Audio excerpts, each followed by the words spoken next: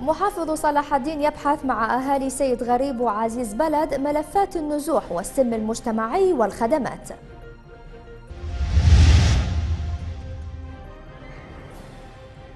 تضارب وجهات النظر السياسية بخصوص إقالة حكومة عبد المهدي.